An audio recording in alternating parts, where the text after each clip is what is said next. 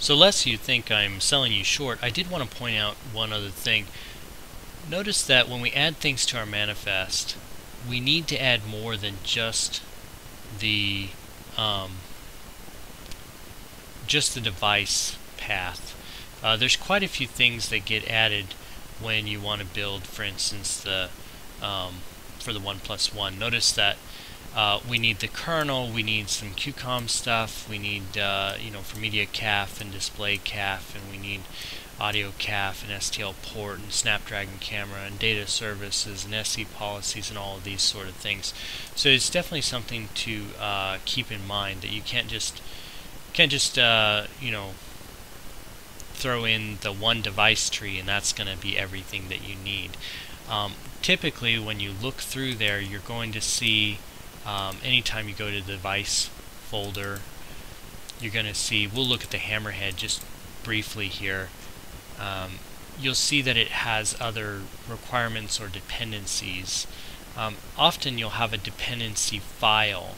Uh, we saw that when we were building lineage. For instance, we go to a um, our device tree here and we go to the Samsung that we built for and this here we see this uh, well this one there it is lineage dependencies. And when we open that up it says hey to build this you need this. And when we go look at that it says hey to build this you need these.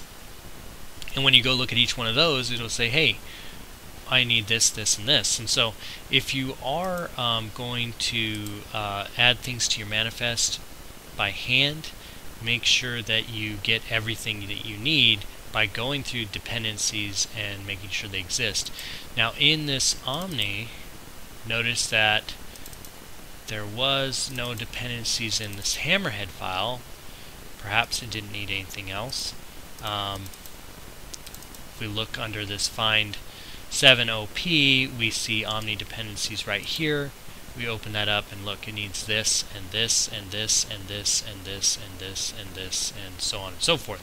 So all of those have to get added to your uh, local manifest. Or in some cases, once you download it, uh, when it first runs, it should read this dependency file and say, oh, I need to go get that stuff and then it adds those for you and goes to get them. So you can sometimes you have to add them manually if there's not a proper dependency file. If the dependency file is there, it should when you type brunch, in this case brunch find 7op, it's going to uh, read this dependencies file and it's going to go and download all of that material. So we're just letting that download. We're going to uh, to get back to building hopefully uh, very soon.